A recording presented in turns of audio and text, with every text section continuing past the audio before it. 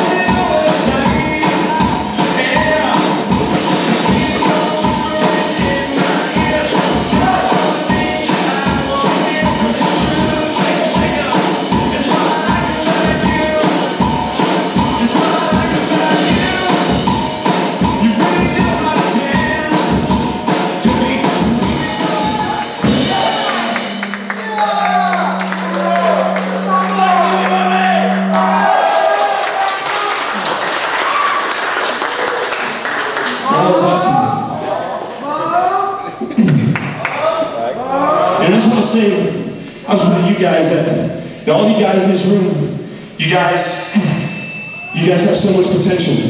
And when I was your age, I didn't know what that was. It took me 28 years to find out what my potential was, to find out what God had called me to do. But you guys are on the stage now. If you start walking with God now, if you start going in the scripture now, God will speak to you. By the time you get my age, you'll be on track to know exactly what you guys need to do. Okay, because all of us have one purpose. God made us for one reason. Some people live their whole life and never find that one reason. Okay, but when you start talking to God, He'll tell you, He'll reveal to you what, what your purpose is. And once you find that, you got it. And it's something that money can't buy. Okay, because I spent my whole life trying to make money. I try to make, I try to be a millionaire. I try to buy houses, sell houses. I try to make all this money because I thought money would make, bring happiness. But the truth of the matter is money does not make you happy. It's false. The only thing that makes you happy and gives you fulfillment is God. That's it. It took me 28 years to find that out. All right, you guys ready for this next one?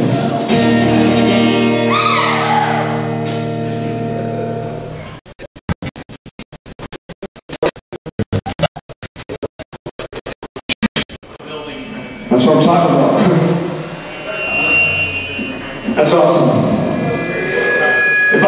Church when I was your age, I would have been a lot farther along right now, I'll tell you. So that's awesome. I'm proud of you guys for that. All right, we're going to praise God real quick. I hope you guys are ready to praise God. You want to praise the Lord or what? It's on now. It's on now. Here we go.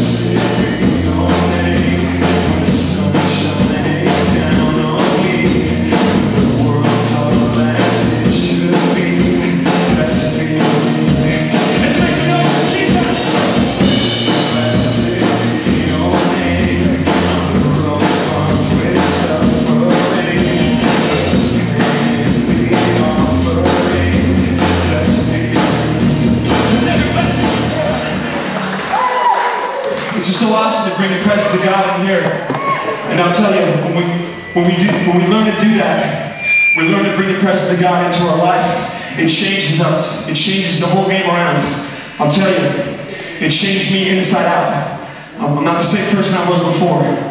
It was God who changed me. Okay, and we all have things in our life, okay, that, that, that, that miss the mark of God, that aren't good. But don't worry, God will forgive you. Through Jesus, He will forgive any sin, anything you do wrong, He will forgive you. But what God asks you to do is you gotta love Him. And if you love Him, are you gonna keep doing the same thing over and over again? No. No. When you love somebody and you honor somebody, if you make a mistake, they forgive you, but you don't take advantage of them, do you? No. No. And that's the way God works with us. It's the same thing. So He'll forgive us, but we gotta love Him and honor Him and not do it again. And I'll tell you, when you start living like that, the whole, the whole game changes. All right, you guys want to do another one? Oh, that's crazy. That's cool.